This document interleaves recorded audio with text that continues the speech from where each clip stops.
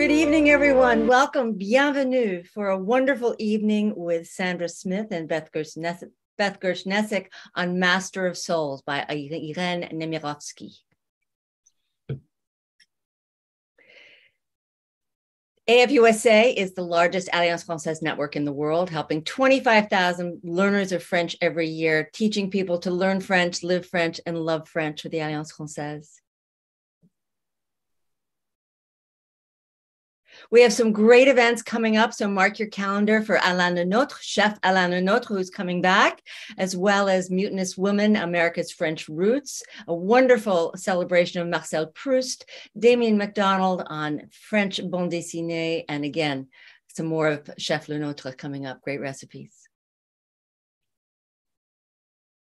So just a little bit of housekeeping. Please stay on mute during the presentation and stay on speaker view. All questions will be in the chat and we'll make sure that we save time at the end for all the questions in the last 15 or so minutes. And if you have any issues technically, just sign out and sign back in again. And um, we want everyone to know that the event is being recorded for our YouTube channel and anyone signed up will receive that link. And the total runtime will be one hour. So we're thrilled to have both Sandra Smith and Beth Gersh-Nesic. Um, Sandra has translated 40 books into English, including 14 of Irene Nemirovsky's novels, notably the international sensation Suite Française. She has also translated Albert Camus, Guy de Maupassant, Simone de Beauvoir, and others. Sandra is the recipient of, recipient of numerous awards, including the National Jewish Book Award and the PEN Translation Prize. Beth Gersh, Susan Gersh-Nesic is, is known by so many of us. She is an art historian and the director of the New York Arts Exchange.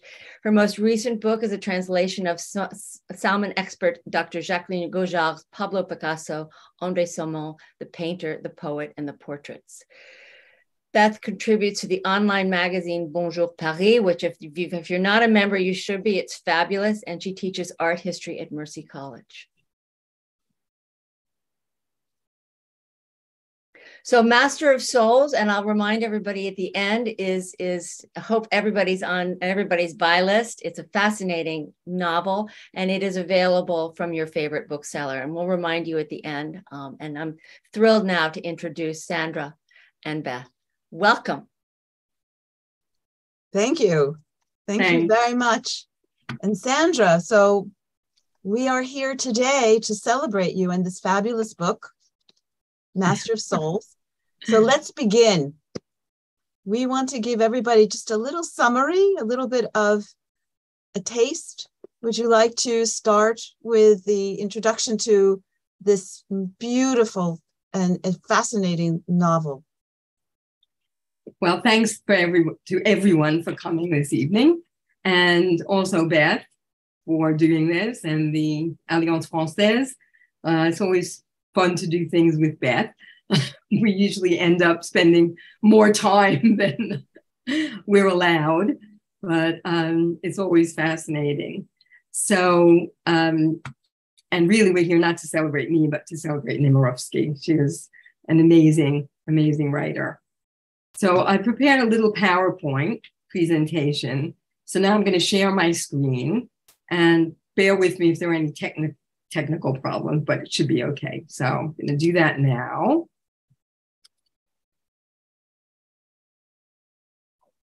Did that work? Yes, can you see that? Yes, we can see it. Yeah. Thank you. Okay, good.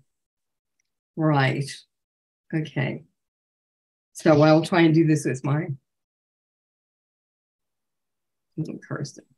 So uh, Nemirovsky wrote this between 1938 and 1939 and it was serialized in a literary magazine, which is called Gringoire. And that was between May and September of 1939. Um, some of you might know about the period, might um, automatically associate Gringoire with being extremely anti Semitic. And I just want to stress that Nemirovsky published in this magazine before it became anti Semitic.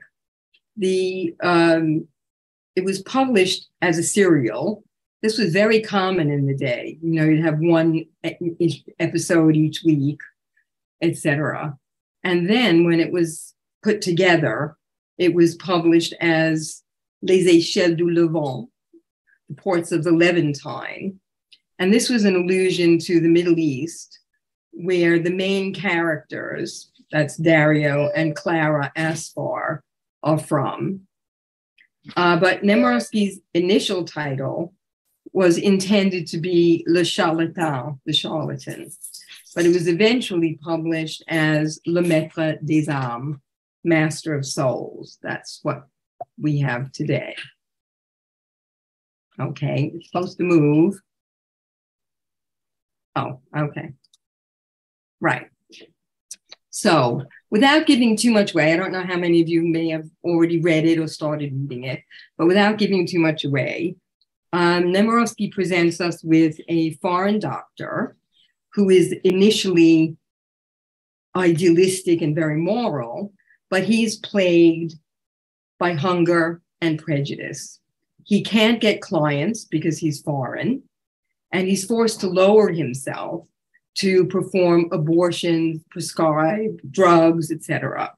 And at the time, um, there was a law, I've skipped a bit, but you can see at the bottom of the slide, there was a law in France that was in force, the Cousin-Nast law of July 1935, which fortunately is no longer in force, which made it extremely difficult for foreigners to practice medicine. There were a lot of hoops to jump through.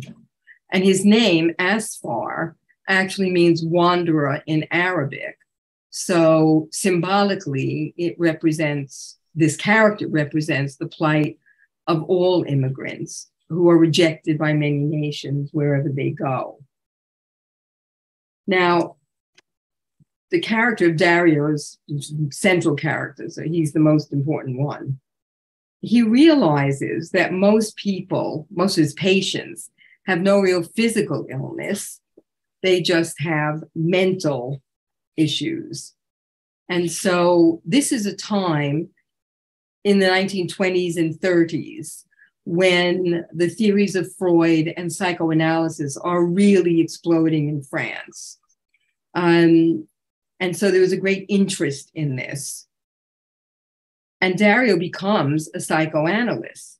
And what he does is he scams wealthy people, wealthy snobs, by inventing a theory which he calls the psychic theory, uh, in in which by which to manipulate people, and you know that way he becomes he gets a great reputation and becomes rich, but unfortunately he himself becomes addicted to wealth, status, and reputation. And so it's really a double edged sword for Nemirovsky because while he's manipulating other people, he also, and, and playing on their addictions, he's also, it may, makes a trap for himself that he gets caught in. Now, some of these uh, events in the novel are reflections of actual events. So here's a couple of examples there was a doctor named uh, Dr. Bougrat, and he was imprisoned in 1927 for malpractice and for having uh, Bernard Grasset locked up. Um, say a bit about that in a sec. But uh, Grasset was the the real life model for the industrialist Philippe Wardes in the novel. Now, um, some of you might recognize the name Grasset because, of course, it's the name of the big French publishing house. And this Bernard Grasset was indeed a member of this uh, family, and whose sisters wanted to have him uh, ousted from the company, and so claimed that he was insane, not of sane, sane mind, and got this uh, unscrupulous doctor to agree with them and lock him up. And so he had to go to court and uh, prove that he wasn't insane, which he did. He did prove that he was not insane.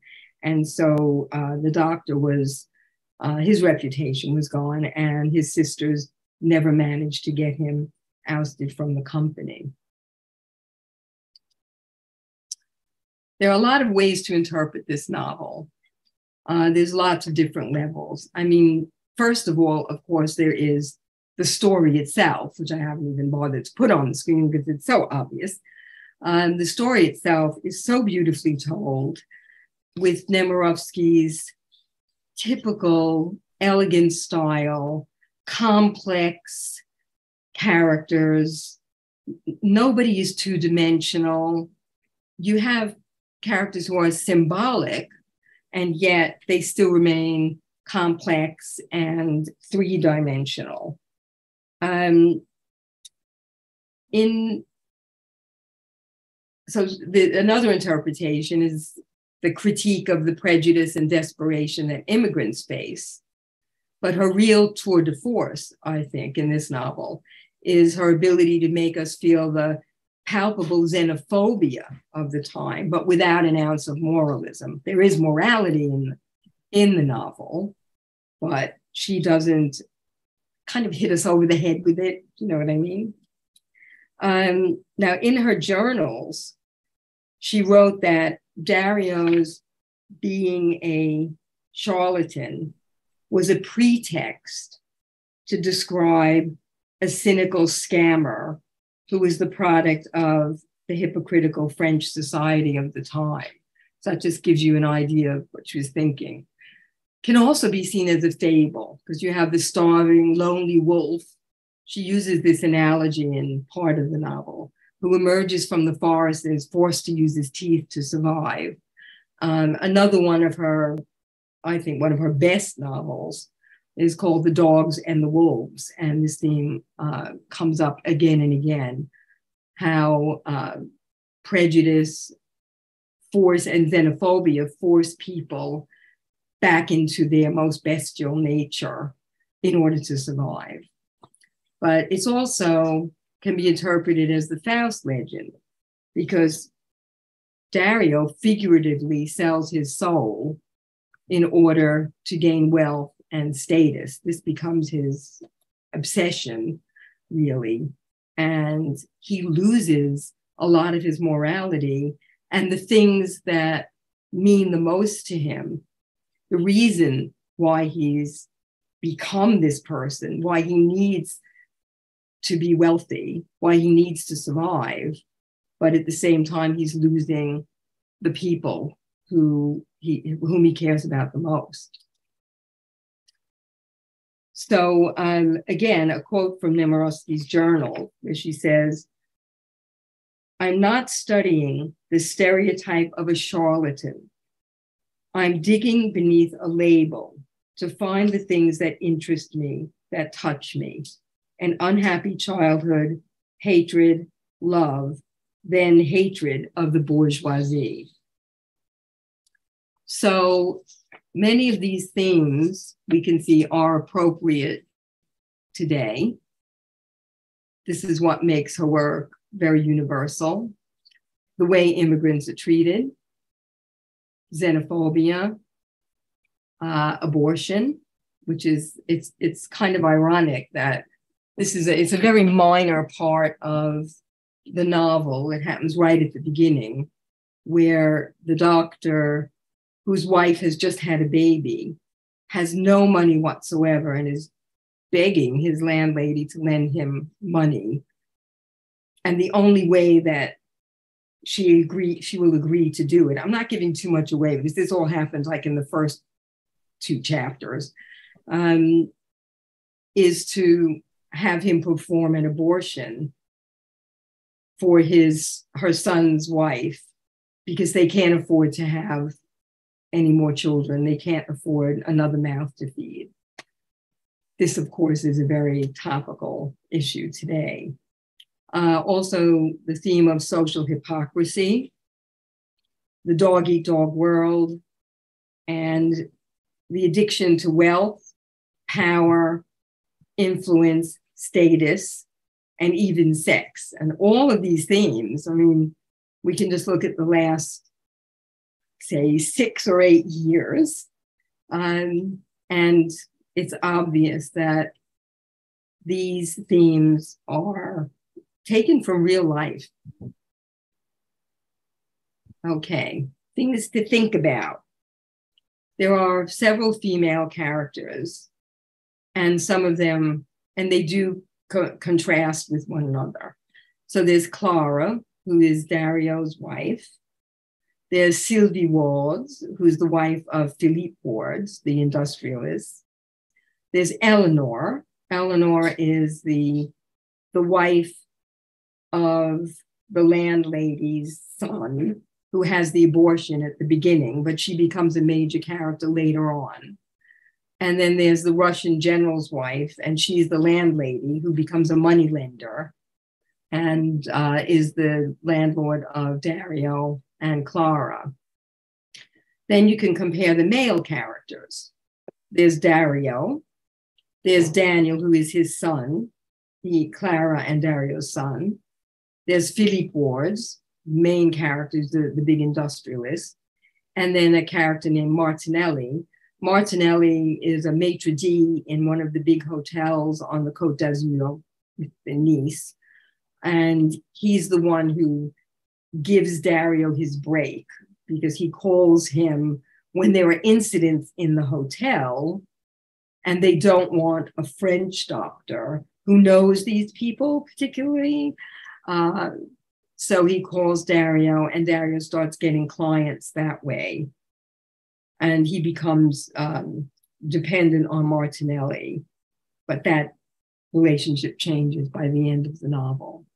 So we have uh, virtuous people versus the ones who represent vice and the ones who change or embody both characteristics at the same time.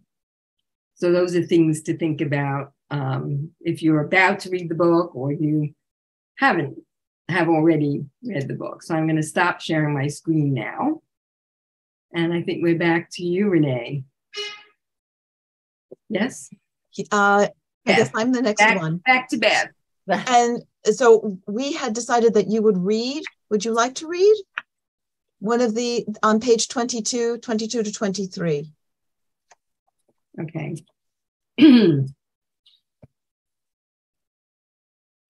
So this passage is, I, I feel, and I think Beth agrees with me, we picked this out together, um, really shows her style and how sensual her style is, and also the all of the contradictions and the themes that we've that we've been mentioning. So this is Dario. He's come home from the hospital where Clara has had their son, Daniel and he's starving.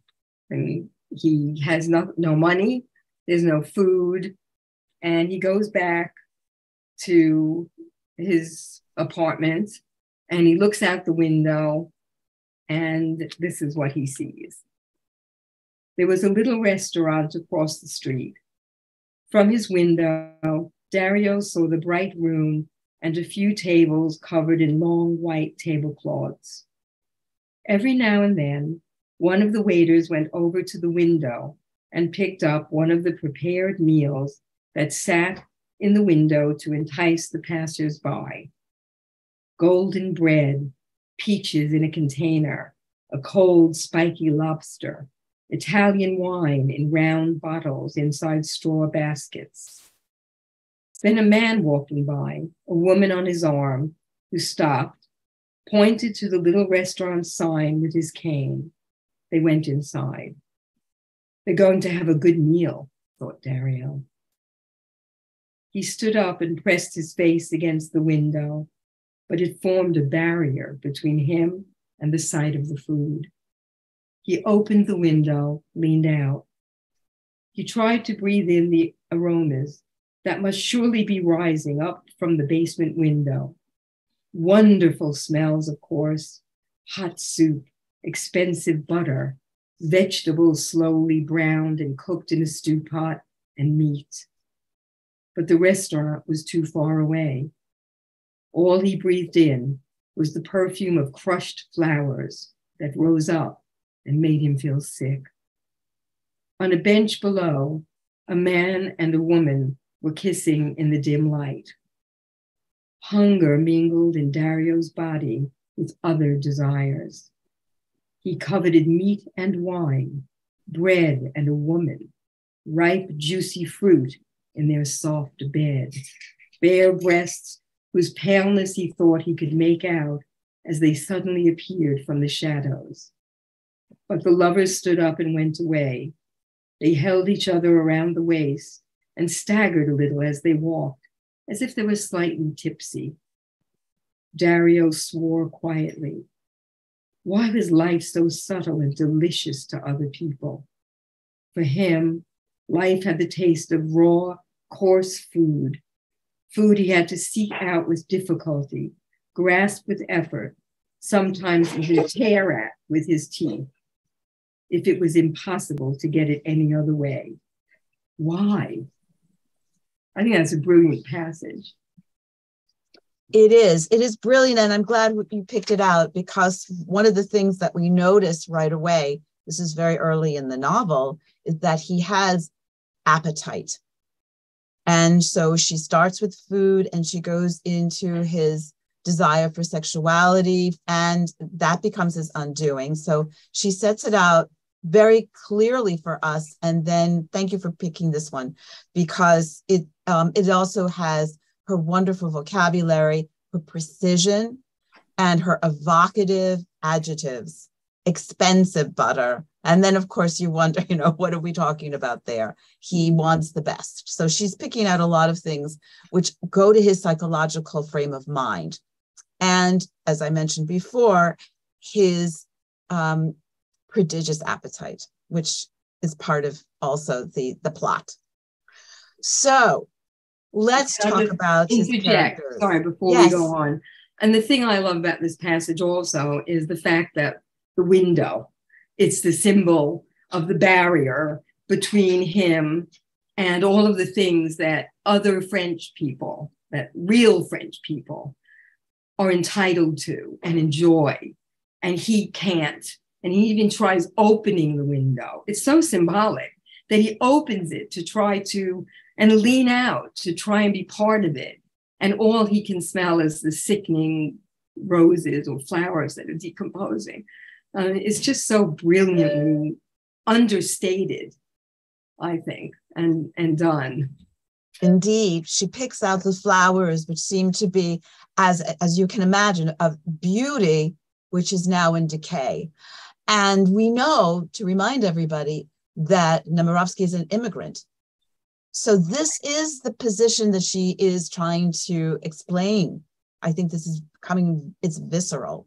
It's coming from, from that sense of no matter how long she stays in Paris and knows French fluently, she's always an outsider, which is, of course, part of the immigrant experience.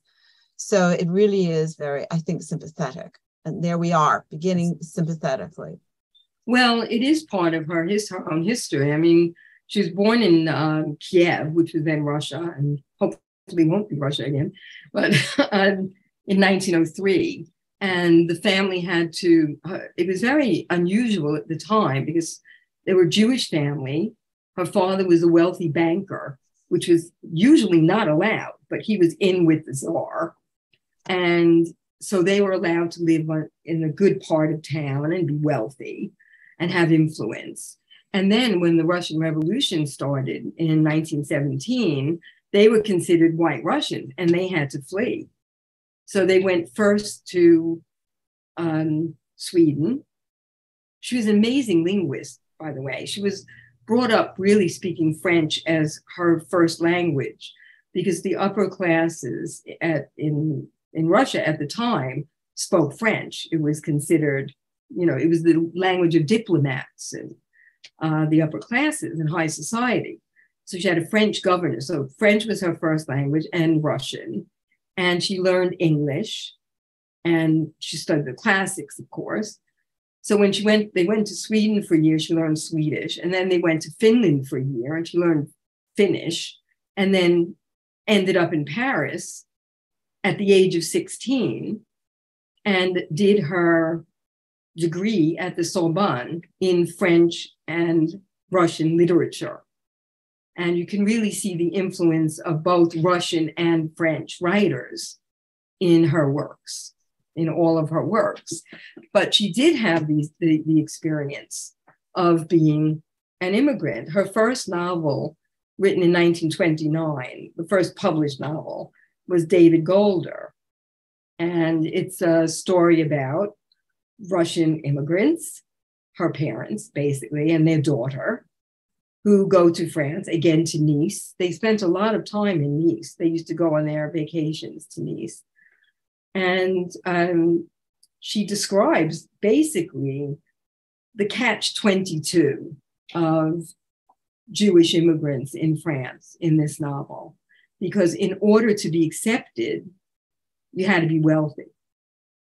But then, if you were wealthy, all the stereotype prejudice came out of the rich Jews trying to control everything. So it was really a catch 22 situation. And, um, you know, it's, it's a very evocative novel, I think, of the prejudice. And as you noticed, Beth, because you, you told me you were reading it, the beginning of David Golder and the beginning of this novel are the same. It starts with no, both of them. So immediately you have this rejection. Yes, that's an interesting way of putting that. There's a rejection because one of the things about Nemirovsky, and I wanted to ask you about Nemirovsky in, in terms of this sort of landscape of different novels, but just to say this, that is true you feel she gets to it right away. She, Pow and the Kisser. She's not one of these people who lays out a very long landscape or context, and you have to wait until you're on page two to figure out where you're going. This one, she just catches you by the, the collar, you know, up close, and you think, oh my God. And, and, and when you think, of course, that Russian literature was her influence, you think right away that, oh, oh, there might be a murder here. But don't worry. Um, no spoilers.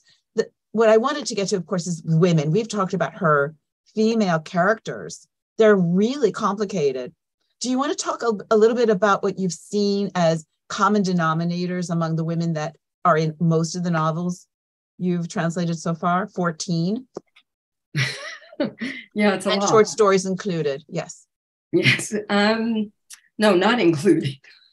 short story not included. Uh, so, so the the so the um David Golder and Snow's Snow and Autumn. Well, the ball that a novella? Snow, Snow and Autumn are like novellas. And novellas. They were published oh, in one, novella. They are, they were published in one edition, but um, there were so many so many influences. But these female characters, they tend to be very complicated, and you feel sympathy for them, but some of them are really awful. I mean, they're really mean and vicious. And in David Golder, for example, the mother, her mother, um, has a lover, has a living lover while her father's away, you know, earning the money. Um, and in this novel, it's kind of reversed because it's Philippe Wardes who has the mistresses while the wife is is a saint. I mean, she's she is absolutely idolized by Dario and then and then by his son. And she has a daughter as well, who's, you know, this, this very virtuous and kind and generous. Where and Clara also, his wife, fits into that category. She will well, they've met as children, basically. I think 15, she says. They were 15 when they they ran away together to get away from their poverty and try to go to France and make a better life. Um, and she's absolutely devoted to him. And he is also devoted to her, even though he behaves very badly by most standards towards her and towards the um, middle. When he's once he's very wealthy, he becomes addicted to basically to sex, to having mistresses. And Um, but she knows, she knows, and she doesn't mind because she loves him so much. And she knows that this is necessary for him to advance. And all she wants is his success. And, you know, it turns out that at one point, which I'm not going to give away to many spoilers, but at one very moving point in the novel, he says to her, You know, you're the only woman I've ever really loved. And he means it. He does mean it. Doesn't act like it, but he means it. So, uh, yeah. And the same with the male characters. Uh, you, you see that some of them are almost, but no one's three, no one's two dimensional. But you take someone like Philippe Wardes, who's basically the villain in the piece. Um, he's selfish, he's egotistical, he's mean, he cares about nothing but himself and his reputation, his status. And he's one of the people whom Dario manipulates. And so there's a reversal in the, this happens a lot with Nemirovsky.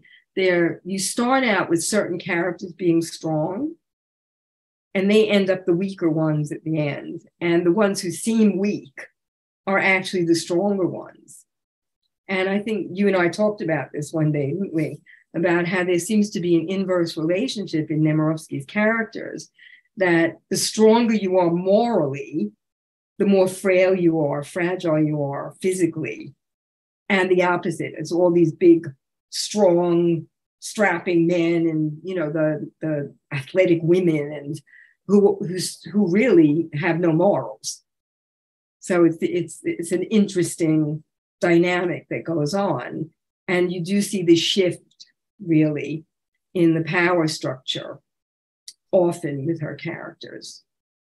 So this is true. We had talked about she has a wonderful way of describing people physically, although she leaves you with a sense of using your own imagination. So there, so there's some physical attributes, but what I noticed, I told Sandra before we started this program this evening, was that I saw the cover of the French novel, and I found it very interesting because it had a sort of 1930s dapper fellow with a top hat and looked like he was wearing you know, the tails with the white tie. So it gives you a sense that in France, at the time that this was published, they imagined that would have been the main character. But when I was reading the novel, I didn't see him that way. I, I saw him um, as a bit more exotic looking. She seems to, I think, as I recall, emphasize the exoticism of his appearance, which ends up, as we talk about immigrants and racism here, as being the thing which he feels is the obstacle the, that people see him in a crowd and right away feel that he's an other. And this is his struggle in order to overcome what are his uh, deficits at this point. But he starts out poor, we pointed that out. And you want to see how he's going to uh, overcome what is his poverty, a really a very sad and very disturbing poverty as well, because he has a, an infant son at the very beginning. So just, just as yes. um, yeah, just as we were saying, the the way to make to become successful as an immigrant, the way to overcome the poverty was to overcome the prejudice. And the only way to overcome the prejudice is by being wealthy. So you're caught in this vicious circle of, you know, he manages it. He manages to become wealthy does he ever really get past the prejudice? She doesn't actually make that clear. Because. Well, would- Eleanor, Eleanor is, you know, I should have said this when I did the slides. Eleanor is American. She's not French. The general's wife is Russian. She's not French the two main characters are from the Levantine. The only really French characters are Wardes and his wife Sylvie. They are, and even Martinelli is in French. He's of Italian descent. So, you know, there's this very complex intertwining of relationships. But as you're saying, the physical does come into it a lot with Nemirovsky. And she describes, you know, even Dario describes how it's his ears and his big ears and his hair and, you know, his his face, the way his big nose. And this is what puts people off. This is why he's he's always going to be looked at as foreign even though he's been in France for 10 years and is has all his qualifications as a doctor. And he's a good doctor, but no one wants him as a doctor until he takes on the hypocrisy of the society, the French society, to become a psychiatrist and a master of souls. That's right. And also he has, he corners the market on people this is interesting too, that's contemporary, who, who feel as though they have these anxieties. They they are feeling that they need to be fixed, that they there has to be something that ha- can be done. And they're looking for a person to help them feel more comfortable this is this is the reason why they become his regular patients because they feel as though they're making progress and he's convincing them that they must stick with him in order to make more progress. We've, we've seen this before. But, mm-hmm. and this I think is something that's, it's subtle.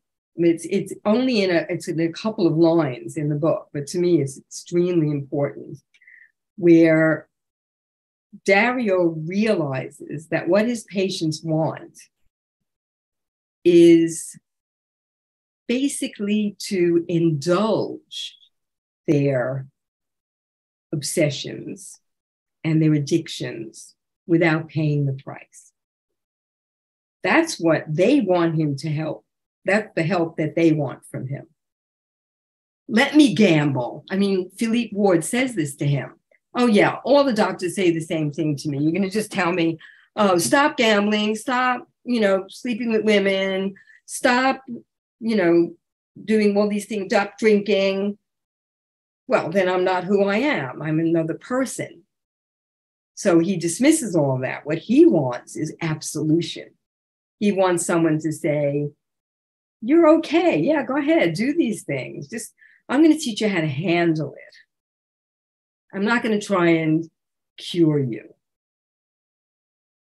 But he passes it off as a cure. And we see also that there are still these anxieties which continue in, in the other part of the book. A lot of this is quite contemporary, talking about people dealing with anxieties. So I think it's quite remarkable. This is 1938, 39, and yeah. still, and it's published thankfully today, um, that you know we can appreciate some of these issues in retrospect as well as contextually uh, today in the past.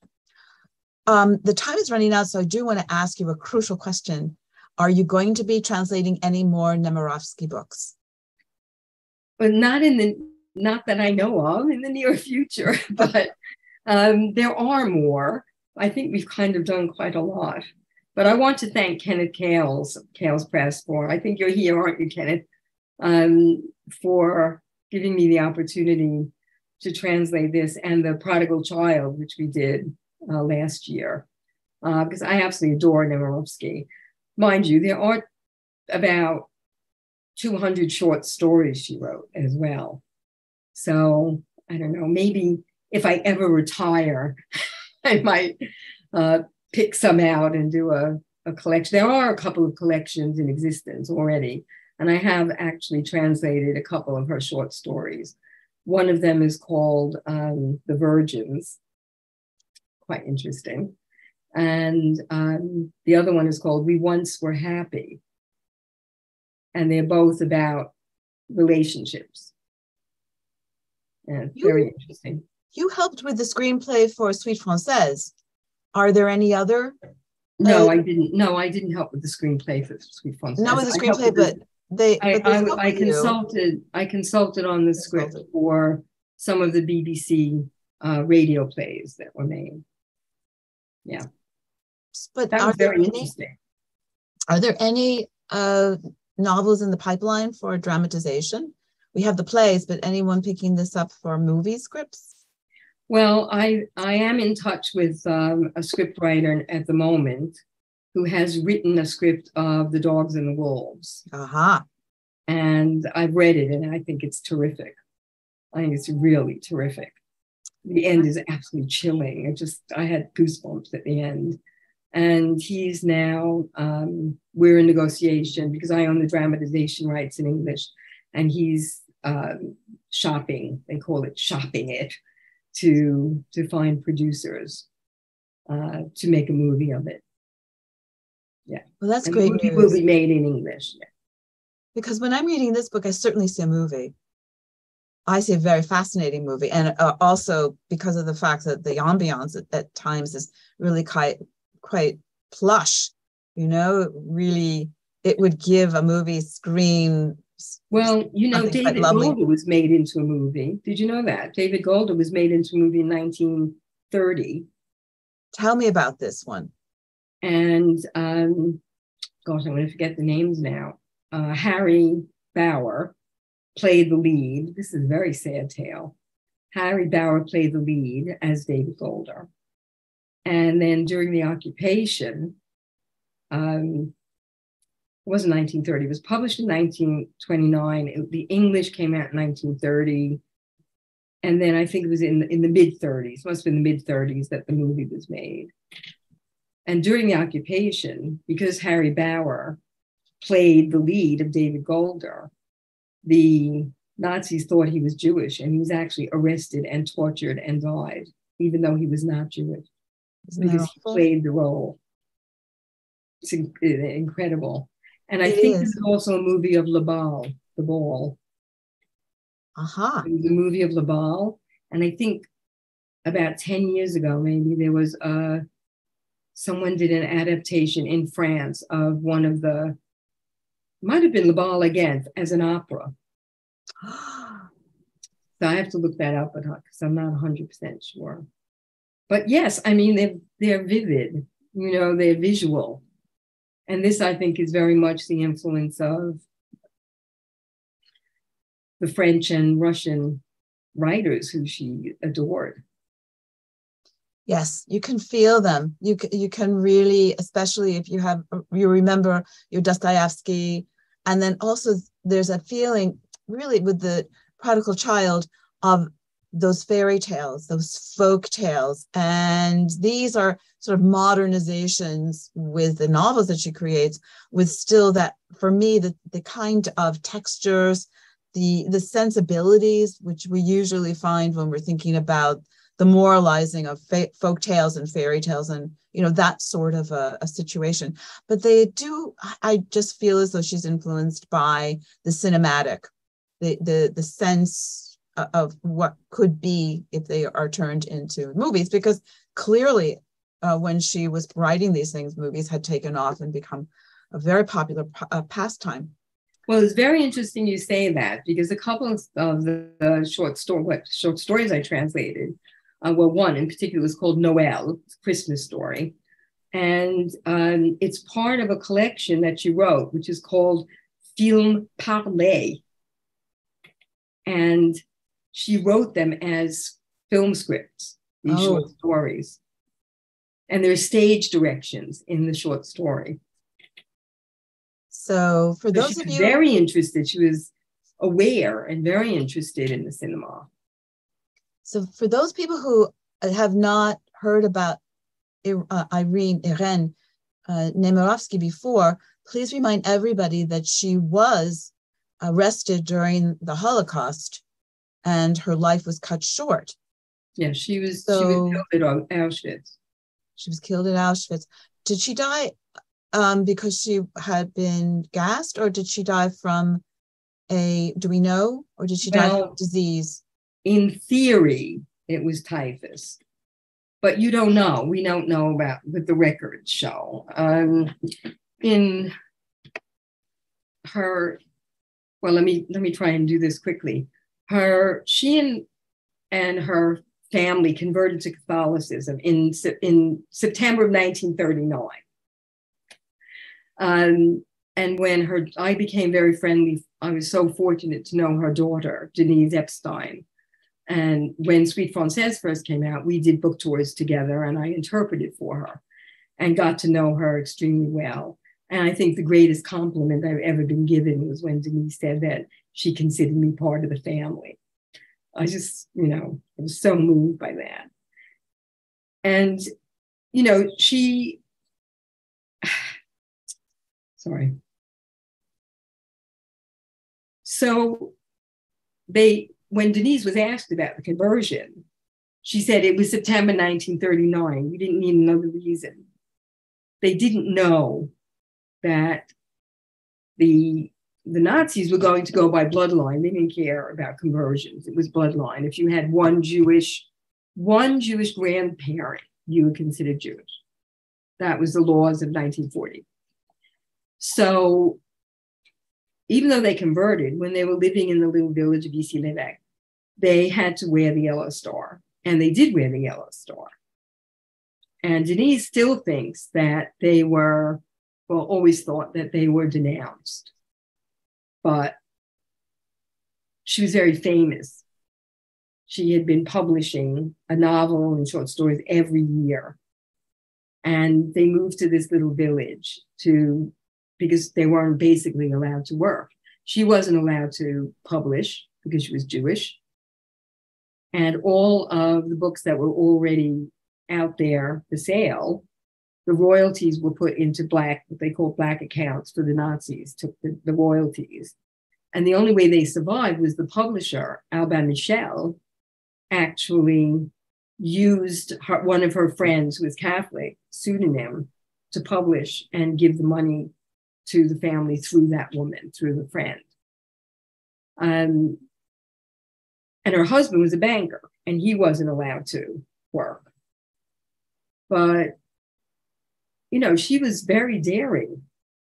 They went to church every Sunday in this little village wearing the yellow stars.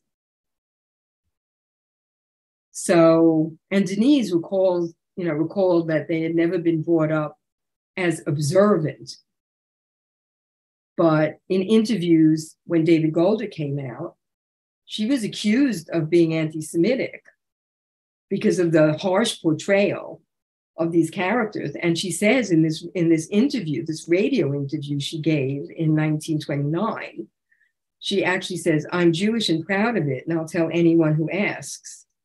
I don't know what the fuss is about. I just wrote a story about mama and papa, which was quite a story.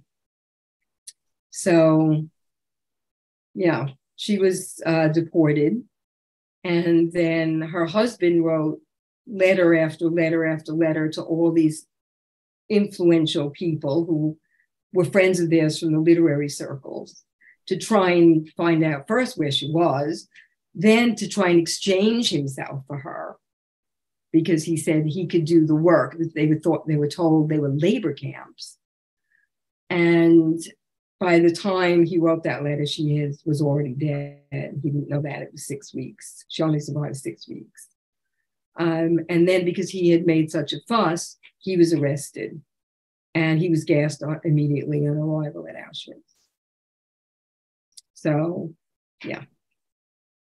Um, but seeing the way she writes, if she had survived the war, it's, it's I just can't imagine what powerful things she would have written. It's such a waste, such a shame. Absolutely.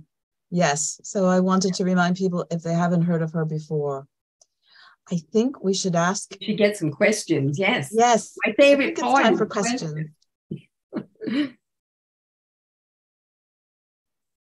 All right. So let's go to the chat.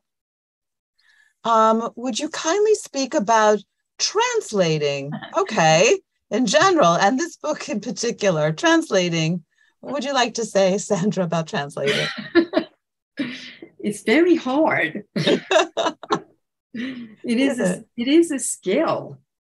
Um, the role of the translator has changed dramatically uh, since the beginning, uh, I would say, since the 20th century. Some early things, the translator is not even credited. You know, you don't know it's written. It was translated, or if you know it's translated, you don't know by whom. Um, with Nemirovsky, I always love translating Nemirovsky because I've done so many. And even though they're all different, there's still a core of her writing and her style and her rhythms that that come up again and again. So in a way that that makes it, you know, a, a little bit easier to translate. Um, I wasn't going to share this, but I think I will now since I've been asked the question. I had an, I won't name names, but I had a phone conversation with someone yesterday, in fact, uh, talking about some rights to something I had translated and saying that they they normally share the royalties between the author and the translator. And I said, yes, but all of these things are in the public domain now. So I am basically the author. So I should have the author's share. And this woman said to me, but you're just the translator. And I took great offense at this and said, just. To which she said, Oh, oh no, I didn't mean it that way. But of course, it's exactly how she meant it. And I think this is, you know, this is changing now. People are recognizing that we are authors, that we are writers. Um, one of my friends, a fabulous translator, Ros Schwartz, who's uh, English, she um, did a lot of commercial work at the beginning, you know, the bread and butter work.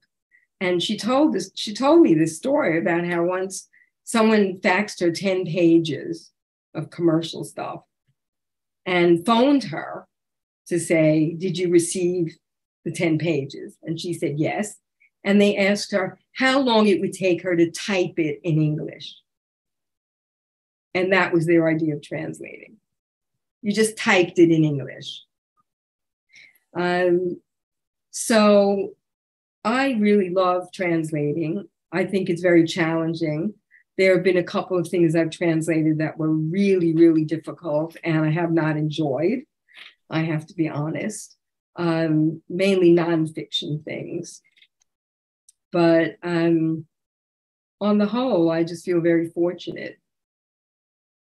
So, what's the other? What's, so that was one of the things. What was the biggest challenge do you want to answer that specifically? You said some things are challenging. Do you want to pick out one ex- example that you found was particularly a challenge? She has wonderful rhythm. Mm. She's very, very lyrical.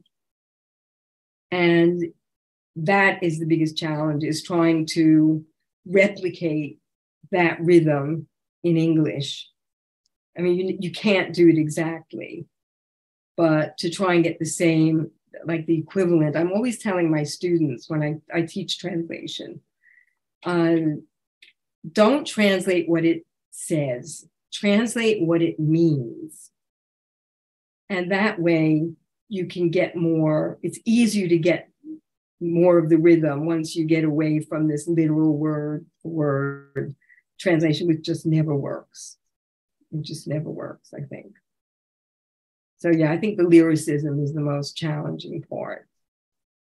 We've also said humor. Sometimes humor also you it, you have to translate something not as it literally is, but in an equivalent to what the target language would un, people who read the target language would consider. That's always yeah. you know a discussion about how you might have to choose something that is a completely different paradigm in order for people to right. see what that is. So those are challenges. Well, I can give you one yeah. example. It was quite funny, actually. Um, in one book I translated, uh, there's a scene where the main character is reading the Bible um, in secret. She's got the cover on it because she's trying to help a friend who's a priest get more people come to his church.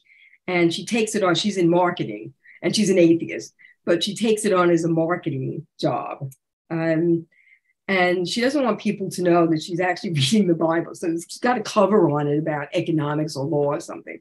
And in the background, the radio is playing. And on the radio, there's a comedy scene. And it's a sketch between two very, very famous French comedians about a train ticket and a train journey. I asked some French friends about it, and they said, oh, they knew who was immediately, immediately. And so I contacted the author. For change, I was translating someone alive, which was nice.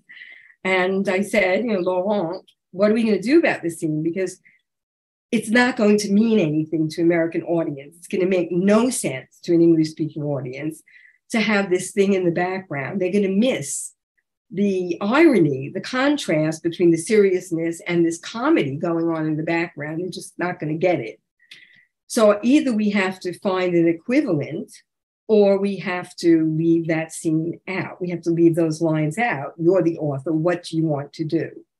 And he said, Well, if you can find an equivalent, let's go for that. So I thought about it and I came up with the Monty Python Dead Parrot sketch and that is what we used.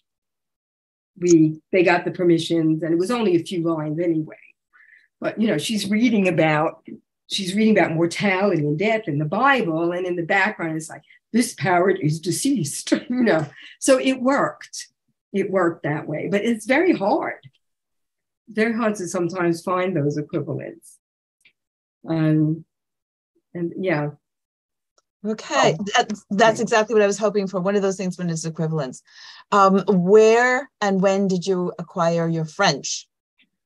I had a French teacher in high school who I absolutely adored, and it was she was the one who inspired me. I knew from high school that I wanted to teach French, and I majored in uh, comparative matter, made comparative modern languages, French, Spanish, German as an undergraduate. But then when I had a chance to go to France for my junior year abroad, I changed to straight French. So I lived in France for a year. And then I came back, and got my BA, and then I went back to get my MA at the Sorbonne with NYU and lived there again. And then, of course, when I lived in England, which was until about eight years ago, um, I went there as a student and stayed it was so close to France that I could go, you know, often on hop on the Eurostar when it was built. Um, and so basically, that is how I acquire the French. And you know, I still I still love the language a lot. I think it's a beautiful language. So yes, so it Corey, is. Corey's asking about my and process. Then your process. Do you want to talk about your process? How many drafts how many drafts do you how do you know when it's done it's ah, never that's done. a very good question how do you know when it's done it's well my my process. Um, like for example with the project i'm working on now that's going to take three years. Um, i do two or three pages a day. I get something down. I underline things that i know i want to come back to but i just got to get something down first. Then after I've done about, I'd say 10 pages, I go back and read it just in English. And I do the research I have to, or, and I, I, I, basically work as my own editor. I edit what I've written, I rearrange sentences or clauses. Um, I read it out loud to hear, you know, the rhythms to, to make sure it sounds the way I want it to sound. And then um, I then I move on. If I there are things that I don't know, I'm very fortunate because I have a whole network of French speaking, in French and English speaking people in France whom I can ask questions of. And if they don't know it in English, they'll explain it in French, and that helps me. Um, and then, of course, you have your editors uh, it's very rare these days to have an editor who speaks the language that you're translating from. So uh, most editors are not comparing your translation to the original. Most editors are reading it in English the way American English readers are going to read it.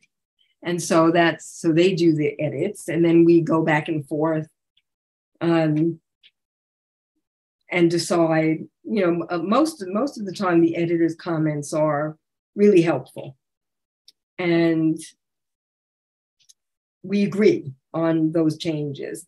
Sometimes, uh, if I'm not really happy, I'll suggest the third option, and we agree on that. So I'm very lucky because I I've been I've always had good on the whole I've had good relationships with my editors. So that works out. And then you know, how do you know when it's done? I mean, I still Corey, I still pick up things I read and I say I would have changed that word, you know.